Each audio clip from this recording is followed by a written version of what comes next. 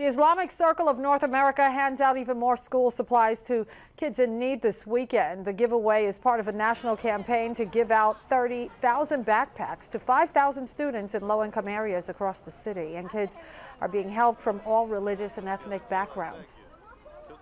This is very important thing. This is the education and everything. Give you, you know, stay, stay closer to our uh, mosque and to our community.